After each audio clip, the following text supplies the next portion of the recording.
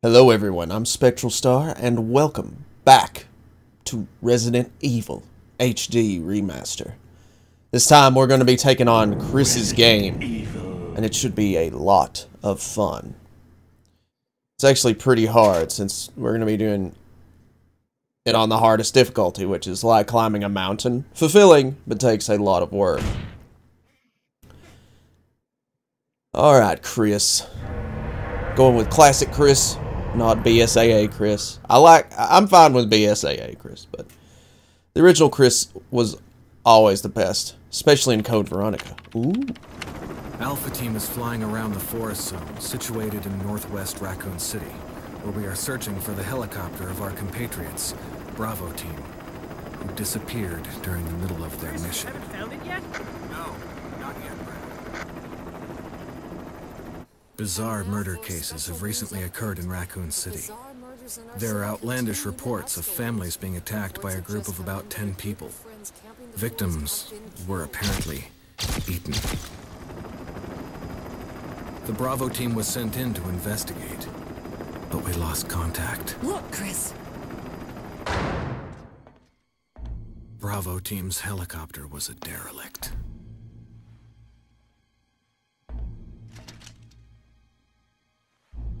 Save for the remaining body of Kevin.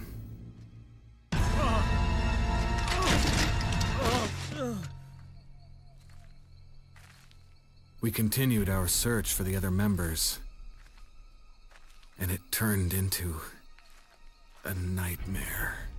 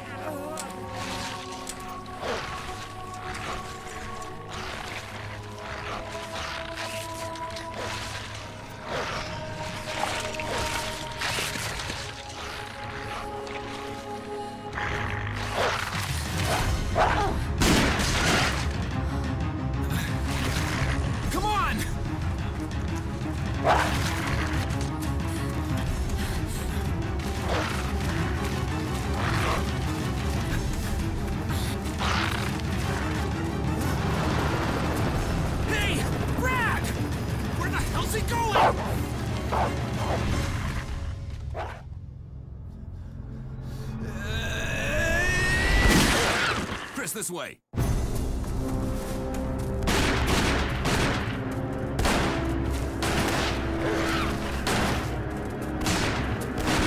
Damn it! Make for that mansion!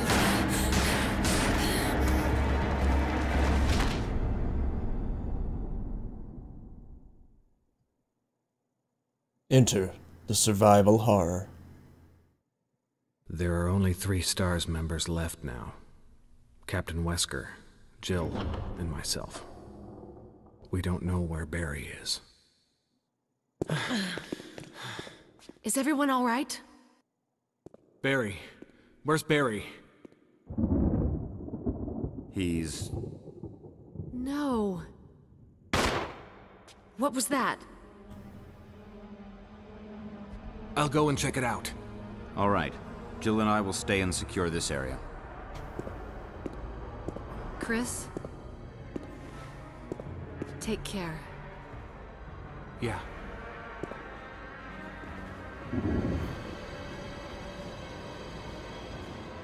Okay.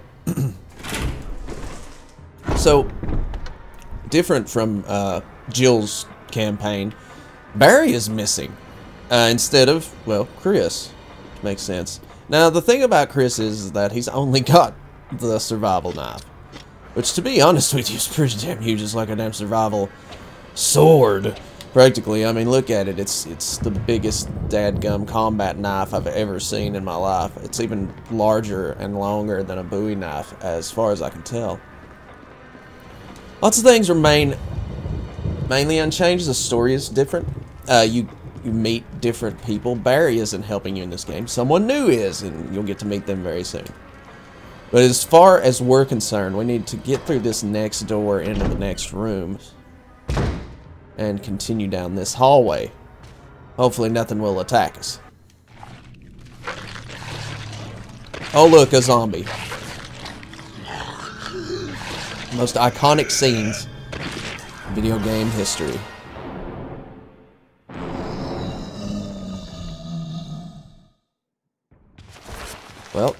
Is Resident Evil, so let's run away. Because if we don't run away, he's going to eat us. And I'm not going to stab him with that knife over and over again until he's dead. It's just... A zombie, generally, I think in the first game, was a lot tougher than most of the zombies. I don't know about these games. I'm not for sure about that. I know a lot of them take a varying degree amount of damage, depending on... Wesker? Jill? Where did they go?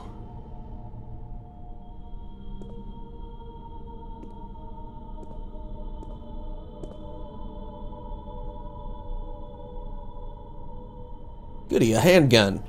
Exactly what I wanted for Christmas. Now, let's equip that handgun, because it's going to be very necessary very, very soon. If you can't tell, guys, this is a walkthrough. If you can't tell, if you can't tell by now, this is a walkthrough. Just like the Jill game was, if you want to go back and watch the Jill game, where I was trying to learn how to use Facecam. But I still think it's an overall very good LP if you want to check it out. I mean, I am a Southern gentleman. I'm Southern heritage. I did not enunciate very well back then, and I don't enunciate very well right now. But oh well, let's go kill some zombies. And uh, I'm going to try to take this playthrough seriously, as I always do with Resident Evil games, because it's a scary story. And it's full of danger.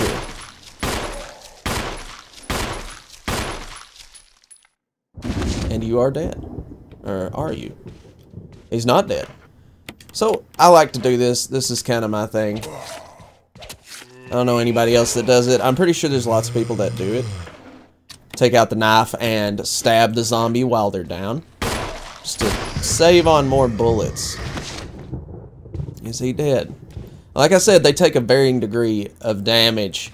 Uh, depending on, I don't know what. I guess where the... It's just, it's weird like that. The corpse of your comrade, Kenneth. It looks like he's holding something. What, pray tell, is he holding? It's the film that belonged to Kenneth.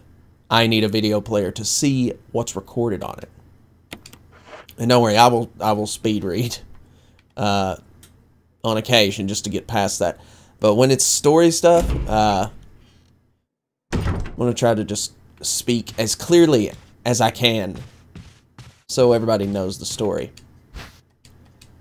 It's a walkthrough, but it's also a playthrough because I love this game.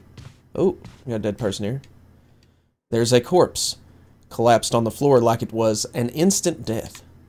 What the hell happened in this mansion? Now, sometimes there's going to be breaks in the sentences, uh, the, the, the words that I speak uh, on the screen because they break up in weird places. Uh, the sentence breaks loose and uh, or breaks apart halfway in between them, and it sounds very awkward. Anyways, we got us a green herb. We're going to take both these green herbs. Green herbs are the healing medicine in this game. You can take green herbs and you can combine them like so to make a mixed herb, which is a lot stronger than your average herb. I used to say herb, like I'd, I'd say the H. Not not in the playthrough, but when I was a kid, it'd be like, herb, I need some herb. like, okay. All the other stoners just looking at me was joking. Right, let's walk slowly through this archway. Turn around. If you didn't see him through the mirror, you did that time. Now he's facing us, and he's alive. Pretty sure. Or maybe not. He's dead. Wow, two bullets. Thank you, game. It's not...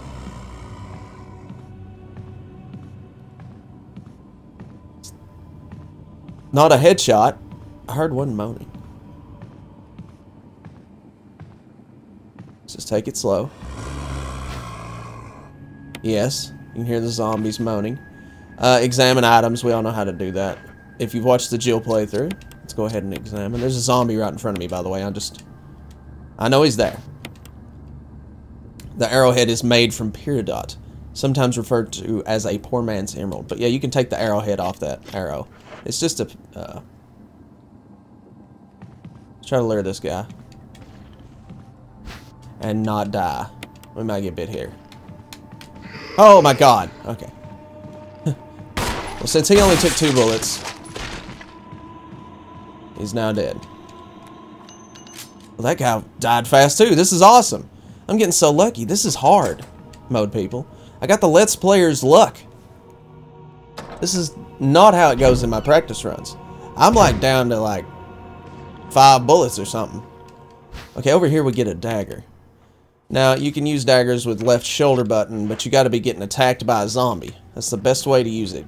It's a defensive item. So when you're attacked by a zombie, when they lunge at you and try to grab you, press and uh, release LB. You can mash it if you want to.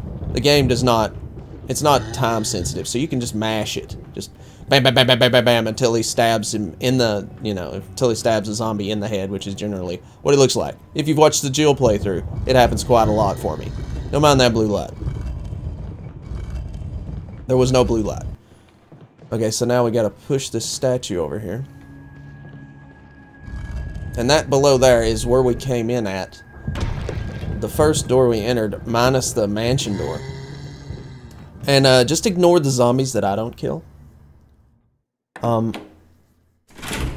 and some of the zombies you can juke around if you want to. Alright, so let's head downstairs. We're going to need to go into the uh, the graveyard slash courtyard slash zombie infested park. Whatever you want to call it. I'm going to go down into here. As if you couldn't tell, I love these games. I really do. Now, we don't need to kill this guy. Let's wait for him to get on the stairs here. Alright, he's on the stairs. That means he can't lunge or bite at us. He can puke on us, I think. I remember in Resident Evil 2 uh, that zombies could always puke on you. Now, let's go ahead and examine what we got here. A tomb engraved with the picture of an angel. There's an indentation in the shape of an arrowhead. So that means grab your arrowhead and use it. Voila. It goes right in. I was going to make a prom night joke, but I don't think I should for the kiddies. Okay, so let's go down in this creepy-ass area. And you can see that these are the mask uh, indentations. Uh, there's one with no eyes, no mouth, and there's one with, there's one with no eyes, there's one with no mouth, there's one with no nose, and there's one with no mouth. Or wait, wait, what's this one? Doesn't said mouth there. Okay, yeah, no mouth. Uh, and there's one with no eyes, no nose, and no mouth. So one combined, okay? So we need to find these pieces, or these, whatever they are. Masks, I'll just tell you, they're masks. A book is fitted perfectly in the indentation. Will you take the Book of Curses? Yes, I will. Okay, so let's examine the Book of Curses. Ordinary book. It's titled the Book of Curses. Look on the back, and you've got a key. It's a key embedded on the back cover. Will you remove it? Yes, I will. You got the mansion key. Now let's read the Book of Curses. Book of Curses. The Four Masks. A mask that speaks no evil. A mask that smells no evil. A mask that sees no evil. A mask that cannot speak, smell, or see evil. When all four fall into place, evil will awaken. Now, that sounds like a bad bum deal, doesn't it? Well, trust me, it is. But you're going to have to wait for that, because it's going to take a while to get these masks. But I promise, I will be destroyed when it happens. Well, maybe not. Now, there's an...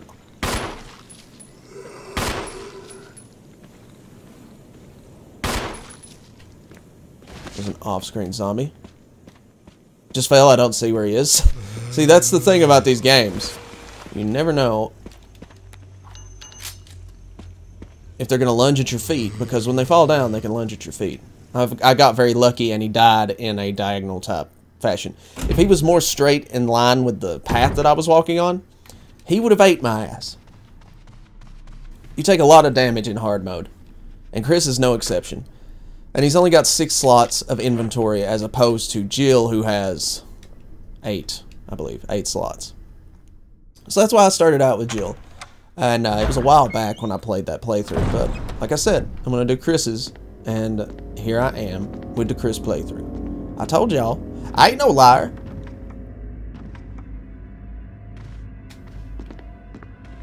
Now we're going to go ahead and get this map too, because I have to have a map. I'm sorry. I have to have a map. If I don't have a map, I am completely lost. Okay, so let's reach into this pot. Take it. Yes. There we go. We got a map. Got the map of the mansion. 1F. Nicely done. Woman with one boob and her butt exposed here. Nope. I didn't mean to do that. Oh well. I was going to examine it, but it's just a woman drawing water. That's the that's what it says on the plaque in front. A very hot woman drawing water. Very hot. I'd like to meet the sculptor shake his hand. Like, that's a beautiful statue you got there. Alright. Now, we're going to go get us another defensive item. But I'm setting this room up in this particular fashion. And you'll see why. Will you take the dagger? Yes. I'm going to try not to say that every time I pick something up this time. Sorry about that.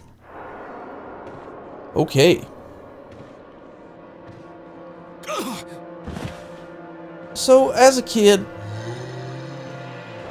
one could say they wet themselves at this part. And not feel ashamed, right? Am I right? We all wet ourselves here, right? I'm not crazy. I'm not a baby. It scared me. Anyways, this guy, he can't get through these Chester drawers here. I don't know if they're made of Chester. Whatever the hell Chester drawers are made out of. I'd assume wood. Let's get the hell out of here. Use the mansion key. Oh, but yeah, I like to set that room up like that. It's been like an old school idea for a long time. It's in many a walkthroughs on GameFAQs. Just look it up. It's very helpful. And here we get another dagger, which is very nice. To replace the dagger we just lost, we still have two daggers. Holy shit! Okay, I'm just joking. I, I've been through this game way too many times. I, I, I still get the creeps playing this game, though. Don't get me wrong. The glass shattering, it's old school. Old school and it's very terrifying. Over here we get some more pistol ammo, which is going to be necessary. It's going to be very necessary. So we need as many bullets as we can get.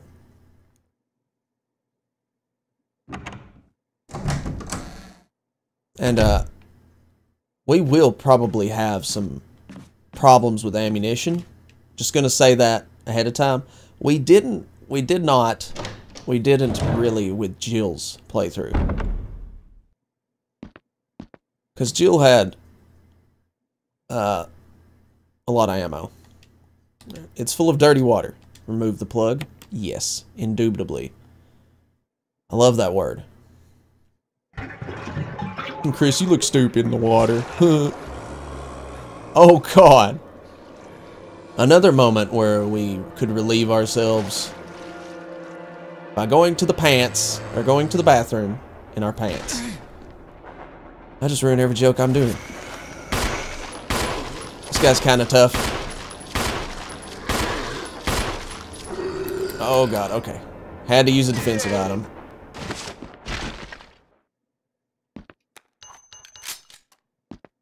Is he dead? Okay, so you know, we got more bullets and less defensive items, but that's okay. I've never had to use a defensive item in there, in this area. It doesn't look like this has been serviced in a while. Well, that's great to know, Chris. I'm glad that you know about servicing bathrooms. Which we all should if we have a toilet. Clean your toilet, kids. Clean your toilet. Just clean it.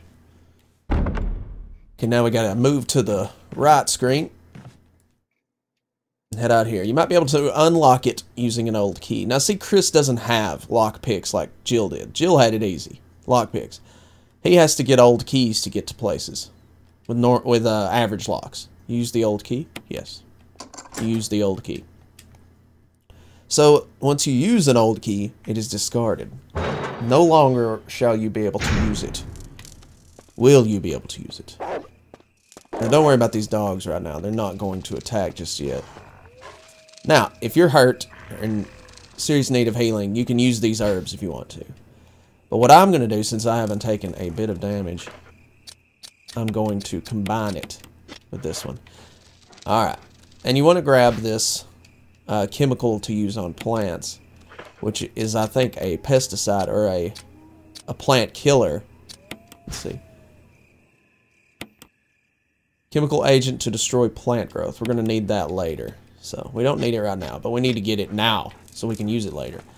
Now, you're not going to want to come back out here ever again because the dogs will have jumped the fence and they will eat your ass alive.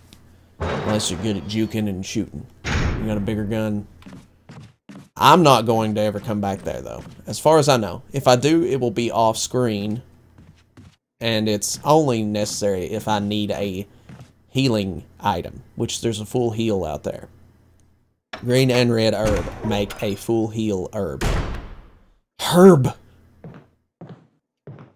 Now you want to go through this door. It's creepy and as old as it is with its chipped wood. Its ugly features. Want to walk up. Only a little bit so far and then run back. Now you got him.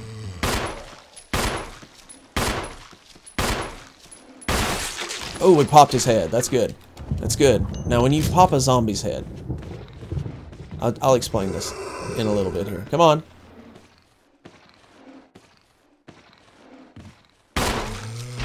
And he's down. Let's get the knife out. I wasn't trying to knock him down.